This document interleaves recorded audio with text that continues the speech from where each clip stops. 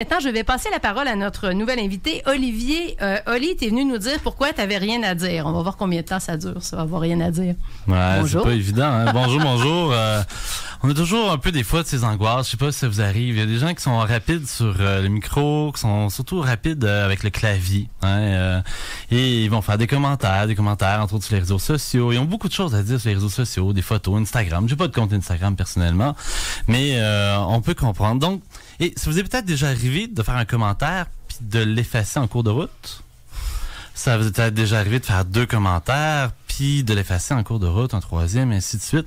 Et puis de questionner évidemment votre intervention dans l'espace public. Hein. C'est un acte tout à fait individuel. Hein. On parle pas d'un acte euh, engagé, critique, forcément, de supprimer son commentaire sur Facebook. Avant même de l'avoir publié. Avant même de l'avoir publié. Évidemment, toujours avant même. Ah, une petite correction. Puis ensuite se dire, c'est quoi la valeur de notre parole? Est-ce que notre parole, elle est vraiment, elle mérite d'avoir sa place dans l'espace public?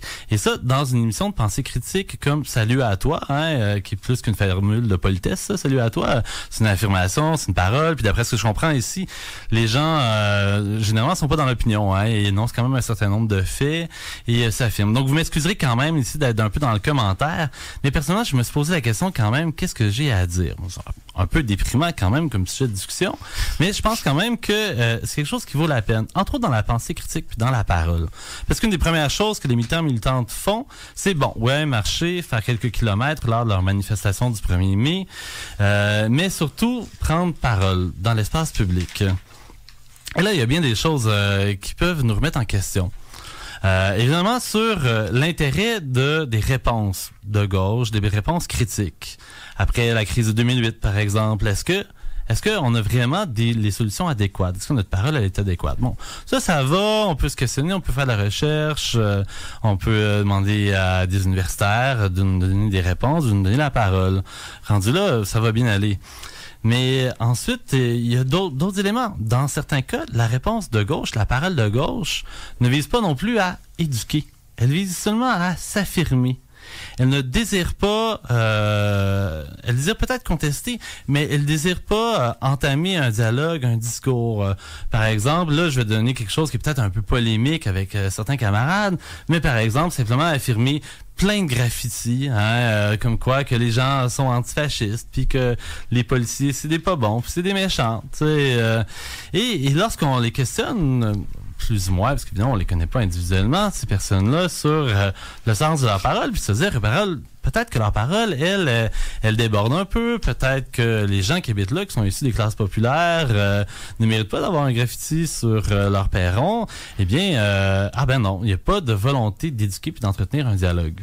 Hein, ça, c'est quand même assez simple comme, comme vision, mais je pense quand même que c'est une épreuve auquel on est de plus en plus confronté peut-être dans notre société. Évidemment, il y a plein de motifs pour les... Pour... Une épreuve, genre cette parole qui, qui qui, qui parle pas nécessairement à quelqu'un ni pour, pour entamer une discussion en fait qui parle à quelqu'un mais pas pour qui attend pas de réponse. C'est sûr que ça c'est une contagion un peu de comportement qu'on retrouve sur les réseaux sociaux. Ça c'est évident.